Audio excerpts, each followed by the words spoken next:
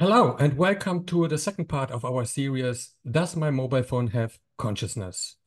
The last time we talked about LaMDA, about Blake Lemoine, and emergence. It was not really clear how that might work, that emergence creates consciousness.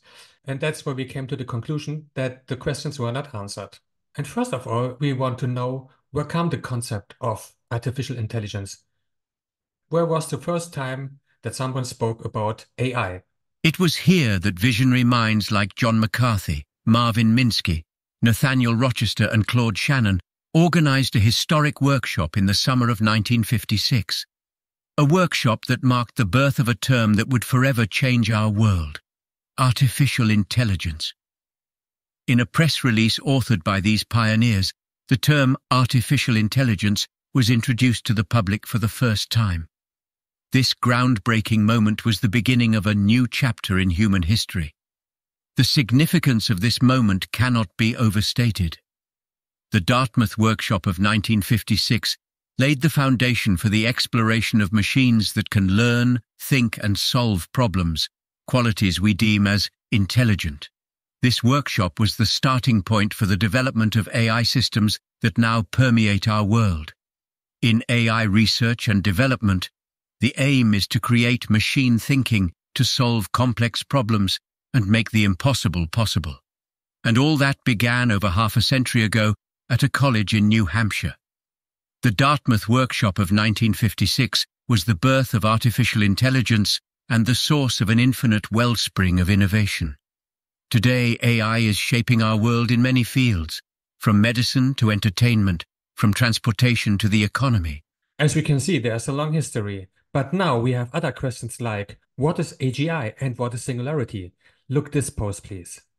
Artificial General Intelligence, AGI, refers to a form of artificial intelligence capable of solving tasks and making decisions across a wide range of fields that typically require human intelligence. It represents, in a way, the realization of the singularity, a concept predicting a future in which machines surpass human intelligence and potentially even become self improving. The period from 1990 to the present has played a significant role in the AGI discussion, and Ben Goertzel is undoubtedly a prominent figure in this domain. Over the past three decades, AGI research has seen substantial advancements.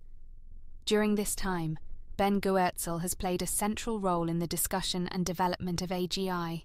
While not the sole driving force, he is unquestionably one of the most prominent personalities in this field.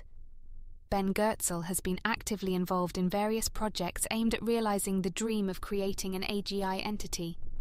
In particular, he founded the company Novamente LLC in 2001, specializing in AGI technologies. This company has been deeply involved in researching and developing artificial intelligence at the highest level, contributing significantly to the AGI discussion. Furthermore, Ben Goertzel has brought an essential philosophical and ethical dimension to the AGI discussion. He has emphasized the necessity of not only pursuing technical advancements in AGI research, but also considering ethical and moral aspects. His work has contributed to deepening the debate on the societal impacts of AGI and highlighting the need for responsible AGI research. So now we know that there are researchers that explains that we will get singularity in some years, maybe in five years, maybe in 10 years, maybe in 20 years, but very soon. And there's the question, what is the dangerous about singularity? And we got the answer that there are systems that decides independently.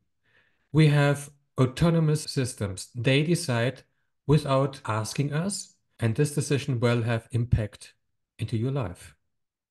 So we have still to discuss very important points and please participate on this and you can write something in the comments. Thank you very much.